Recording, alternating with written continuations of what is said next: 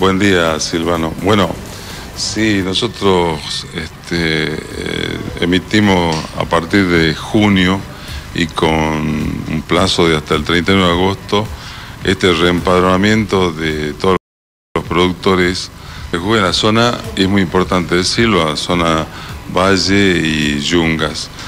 Un poco esto está encaminado hacia la, eh, la reutilización o la eficiencia en la utilización del agua para riego. Lo que nosotros estamos pretendiendo es un poco prescindir de, de esta situación en donde las partidas de riego se dan según la superficie bajo riego y no según la cantidad de agua utilizada.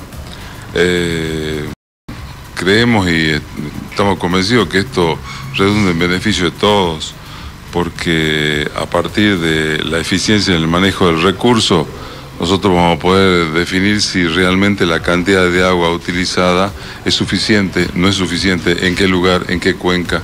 Entonces, a partir de ahí, yo creo que ya tuvimos conversaciones con las instituciones que nuclean los productores y los productores mismos, así que bueno, en este sentido estamos esperando respuesta.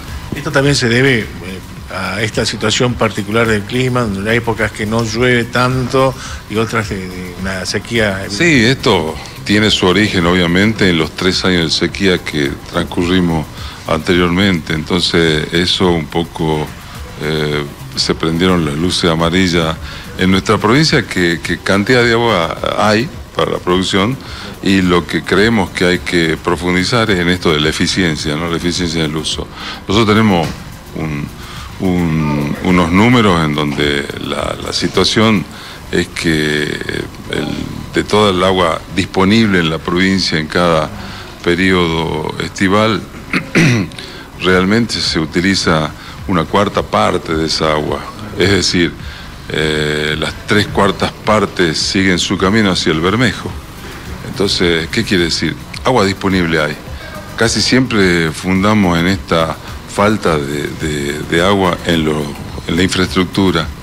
Yo creo que es importante la infraestructura, pero fundamentalmente, y eso lo dicen todos los consultores que nosotros tenemos involucrados, está en la eficiencia. Y la eficiencia depende de todo sin tocar, obviamente, lo que es el consumo de agua en las ciudades y demás.